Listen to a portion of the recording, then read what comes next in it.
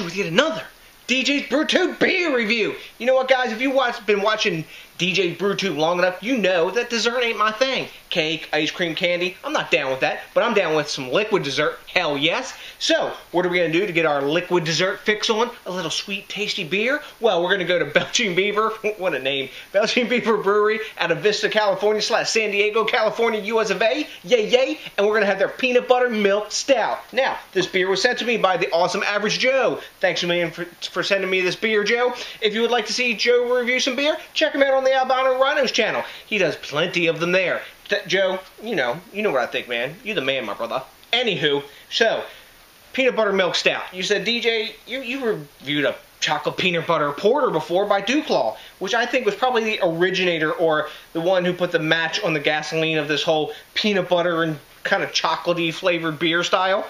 And you know, I was digging that beer. I gave it like an A minus, I think, if memory serves. Now, this is a milk stout. I really like milk stouts.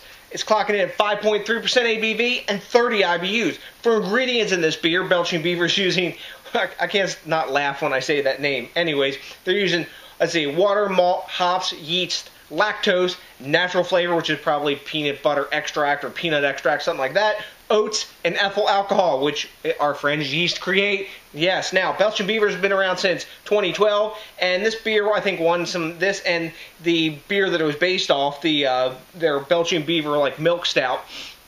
Um, has won some gold and silver awards at the World Beer Cup and all that fun stuff. So it must be a pretty tasty beer. They say on the back of the bottle they're making this because everybody said how that much they liked it.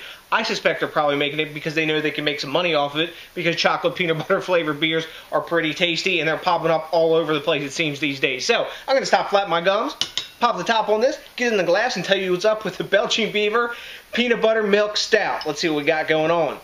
Boom! Nice big hiss off the top. Unremarkable crown we won't collect. Plenty of smoke coming off this bad boy still. Let's get in the glass. Oh, it's nice and dark.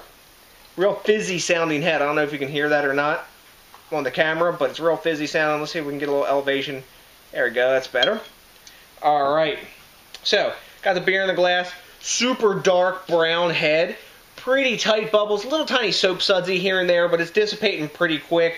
Um, looks like a lot like an export stout in the glass. Um, or maybe, you know, well, I guess some other milk stouts look like this. I think a Lancaster milk stout looked like this a lot too. But anyways, uh, head's dissipating down to one finger now when I swirl it. No alcohol legs. Oh, I can smell the sweetness of the peanut from here. I no alcohol legs to speak of, but I can detect probably some glass lacing off this bad boy. It's quite dark. There's some red glints coming down the bottom where the uh, stem connects on the glass here, but it is a quite dark beer. Take a look at that, guys. Really nice looking milk stout. Nice dark head on it. It's appealing to the eye. Let's see if it's appealing to the nose. Let's check out the aroma. Diving in.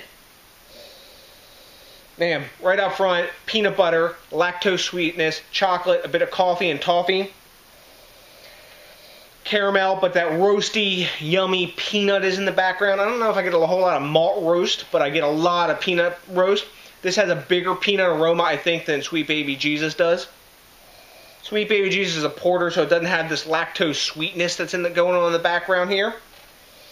This smells more like a Reese's peanut butter cup, I think, than Sweet Baby Jesus that I've had. But not to compare the two, but they're they're different animals, right? Because this is a milk stout, so it's going to have more and sweetness and all that. But I do think the peanut butter smell in this beer is bigger than uh, Sweet Baby Jesus, and the chocolate is more of like a fudgy chocolate, like Tootsie Roll sort of chocolate aroma.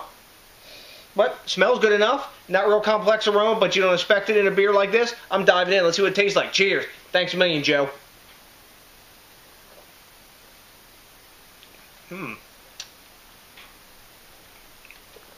Up front, you actually get that fudgy chocolate, that sort of Tootsie Roll tasting chocolate in the front. Lactose sweetness.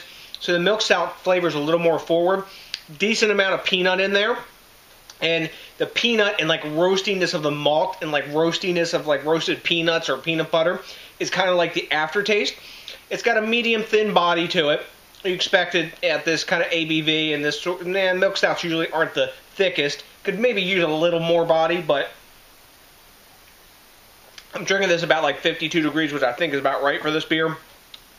Nice taste, really easy to drink. Lower ABV, about 5.3%, like I said, but no alcohol in the aroma, no alcohol in the taste. And like I said, the aftertaste is really pleasant in this beer. The flavor tastes a lot to me like Sweet Baby Jesus, which I've had several times. Um, there's almost like a, a, raisin taste in the background and like a burnt sugar taste almost in the background of this as well that's going along with that roast. But it is what it says it is. It's a milk stout. It's got that nice lactose sweetness in there to kind of tame those roasted notes of the of the malt, as well as the roasted notes that are coming from the peanut butter extract or flavoring they're putting in here. But really tasty beer, well done. Um, you know what? For, like I said, it is as advertised, and a lot of time these days beers are not as advertised, and that's a cool thing about this beer. Plus, it's not real high ABV, so you could handle this bomber and not have your socks knocked off. So, what do we grade a beer like this? Rate Beer's given a 96. That's an A. I don't know about all that. Beer Advocate's given it a 92, which is A minus, and I think I'm going to go with like a 91, A minus myself. I think it's a tasty beer.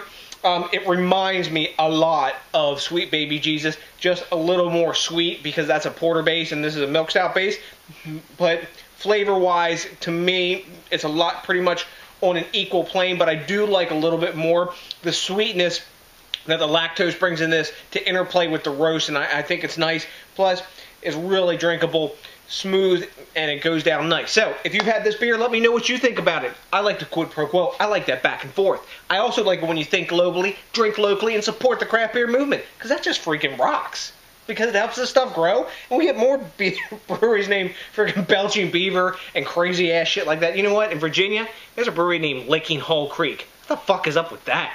Anyways, that's another story for another time, isn't it? So, to the next DJ's BrewTube, thanks a million to each and every one of you for watching. Remember, rate, comment, subscribe, and hit that like button because that makes me put my happy face on. So, until then, I got nothing but a bunch of Belgian beer, uh, Belching beaver beer drinking love for you. What a fucked up name. until then, that's a peace out.